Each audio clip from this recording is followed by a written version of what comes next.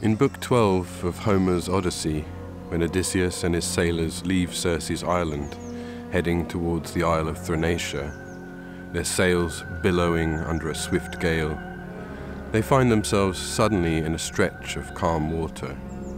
The wind drops, the heaving swells are mysteriously hushed, the sea's mirrored surface glistens, motionless and dead. Odysseus had been warned of this. His ship was sailing perilously close to the island of the Sirens. In a burst of activity, the sailors stow the sails and set to with their oars, thrashing the water white with violent strokes. With his sword, Odysseus slices a wheel of beeswax, kneads it soft under the hot sun, and plugs his sailors' ears. His men lash him to the mast with ropes. Anything not to be lured by the song of those beguiling creatures on the rocks. Anything not to fall prey to their enchanting song, their meadow starred with flowers. But carried on the still air, undeniable as the sea and sun, their kaleidoscopic call is heard. Come close, famous Odysseus, Achaea's pride and glory Moor your ship on our coast so you can hear our song. Never has any sailor passed our shores in his black craft until he has heard the honeyed voices pouring from our lips. And once he hears to his heart's content, sails on, a wiser man. We know all that comes to pass on the fertile earth. We know it all. Odysseus gives himself over to the siren's song finding such pleasure in their ravishing voices that the heart inside him throbs to listen longer.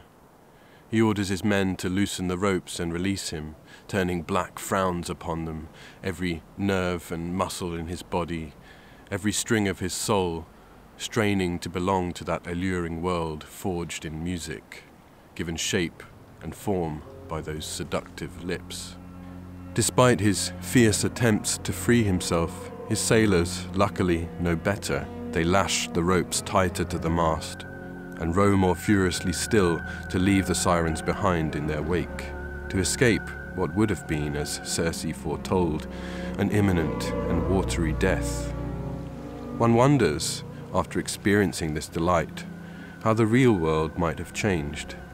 Did Ithaca, on his return, seem paler, its sunlight a little dimmer, for having tasted of that ethereal plain. Odysseus escaped, but what might become of someone who foregoes all warnings, who opens himself up to the terrible beauty of that song? What might become of someone for whom the aesthetic indulgence in those unearthly melodies is more significant than life itself? A few months before his death, the Sicilian writer Giuseppe Tomasi di Lampedusa, author of The Leopard, returned from the coastal town of Augusta to pen the novella The Professor and the Siren, otherwise known by the evocative title of Ligeia. I took it with me on a recent trip to Sicily. It was published posthumously in 1961, and the edition I'll be referring to was translated by Stephen Twilley. It's a novella that, in some ways, answers the question I posed about Odysseus's escape from that ravishing song.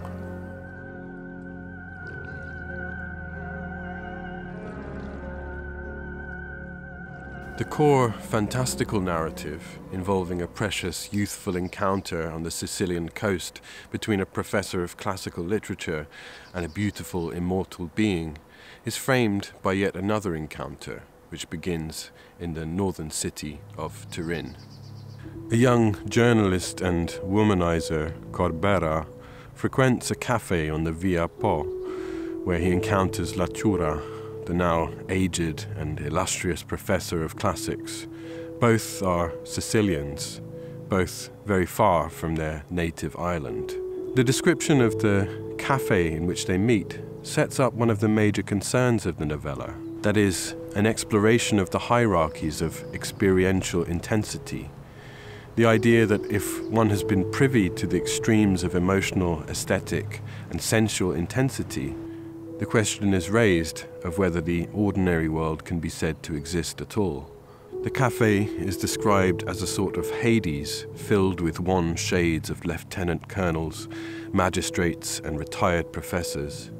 These vain apparitions played checkers or dominoes, submerged in a light that was dimmed during the day by the clouds and the arcade outside, during the evenings by the enormous green shades on the chandeliers. They never raised their voices, afraid that any immoderate sound might upset the fragile fabric of their presence. It was, in short, a most satisfactory limbo. In this description of the cafe, ideas of the liminal, transient, or incorporeal are overtly foregrounded, from the descriptions of the shades and apparitions that haunt its tables to the explicit references to the dwelling places of the dead. We are placed distinctly on an inferior plane of existence. Our inauspicious setting seems to be fighting a losing battle for its own right to exist. And what might be thought of as real seems very far away indeed. It may be no coincidence that this northern cafe appears so intangible to two Sicilians. Despite the professor having adopted the Piedmontese manner of referring to Sicily as down there, there is an undeniably different mode of description on display when, after they have warmed to one another's company, their native Sicily is the topic of discussion. Corbera describes how they spoke about eternal Sicily, the Sicily of the natural world, about the scent of rosemary on the Nebrodi mountains and the taste of Melilli honey, about the swaying cornfields seen from Etna on a windy day in May, the fragrant gusts from the citrus plantations known to sweep down on Palermo during sunset in June. When Sicily is discussed, it has an essence of physicality. Its fragrances and flavors are tangible.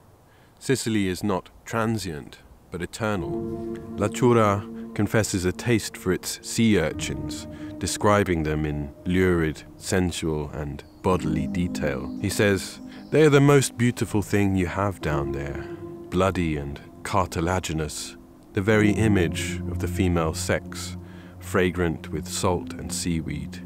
They're as dangerous as all gifts from the sea are. The sea offers death as well as immortality. The combination of the carnal and transcendental in the professor's description of the sea urchins foreshadows his account of his meeting with the mermaid. In fact, there are further parallels. Just as the professor scorns Corbera's sexual escapades with local girls, who carry with them, as the professor sees it, a cadaverous stink, because in 50, 60 years they will die. He makes similar comments about the local sea urchins, remarking, It's a shame they're not from the sea down there, these urchins, that they haven't been steeped in our algae their spines have surely never drawn a drop of divine blood. For La Ciura, there is a longing for a return of the once experienced reality, something that only Sicily's sensual transcendence, its tastes and tides, can provide.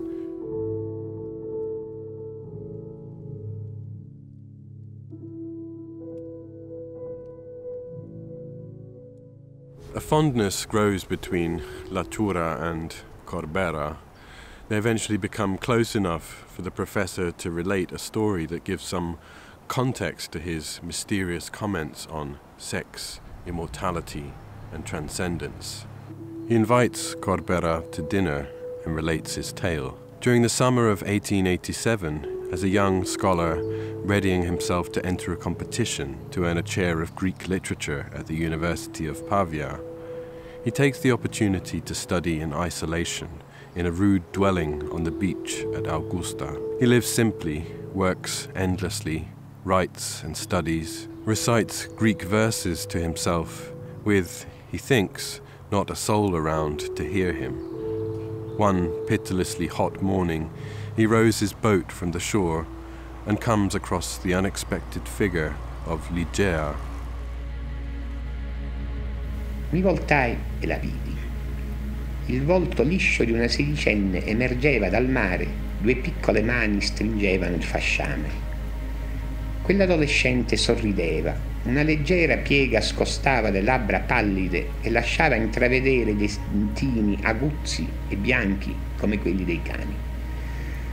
Non era però uno di quei sorrisi come se ne vedono fra voi altri, sempre imbastarditi da un'espressione accessoria di benevolenza o di ironia, di pietà, crudeltà o quel che sia. Esso esprimeva soltanto se stesso, cioè una quasi bestiale gioia di esistere, una quasi divina letizia. Questo sorriso fu il primo dei sortilegi che agisse su di me, rivelandomi paradisi di dimenticate serenità. Dai disordinati capelli color di sole l'acqua del mare colava sugli occhi verdi apertissimi, sui lineamenti di infantile purezza. Sottolinguine, sotto i glutei, il suo corpo era quello di un pesce, rivestito di minutissime squame madreperlacee e azzurre, e terminava in una coda biforcuta che batteva lenta il fondo della barca. Era una sirena. In the mermaid's depiction, we once again see that coupling of the animal and the spiritual. Her sharp white teeth like dogs, her disordered hair, her bestial delight in existing, and her forwardness are set against images of paradise, serenity, and infantile purity. La Ciura even goes on to discuss in their sexual congress the meeting of these two extreme poles of experience. He says, In those embraces, I enjoyed the highest form of spiritual pleasure, along with the greatest physical gratification, devoid of any social resonance, the same that our solitary mountain shepherds experience when they couple with their goats. If the comparison repels you, it's because you're not capable of performing the necessary transposition from the bestial to the superhuman plane, planes that were, in this case, superimposed. In order to make sense of the mermaid, readers have offered various interpretations of the tale, using Todorov's definition of the fable to offer an allegorical reading. Maria Grazia di Paolo views in it an ascent into a world of Platonic, perfect ideas. She writes, The mermaid's double nature is emblematic of the perfect synthesis of the sensual and of the spiritual, of the human and of the divine. Lampedusa has taken us from the settings of the cafe in Via Po as mere shadows of our reality to the purity of perfect ideas of a fantastic past. Demonic versus divine womanhood archetypes have been used to exemplify that journey. For the destructive powers of the women in Corbera's life have been replaced by the life giving force of Ligeia, leading us back in time to the Sicilian gods of old and the alluring pleasures of Platonic ideals. Marina Warner, in her wonderful introduction to the New York Review of Books Classics edition, offers yet another allegorical reading, preferring to view in the relationship between the professor and the mermaid a recasting of the writer's love for his native Sicily. She writes, through the scathing fury of La Ciura and his hankering for the past and his fairy love, Lampedusa presents an allegory of his passion for Sicily. The mermaid embodies the island's deep time, and her spell the ecstasy and the wound that its mad beauty inflicts. To see Lampedusa's last completed work as a love letter to his native land, which had occupied so much of his artistic attention, is not surprising, but my own understanding of the tale is slightly different. A love letter it may be, but its recipient is, to my mind, not Sicily, but perhaps the only thing that could compete with it for Lampedusa's affections.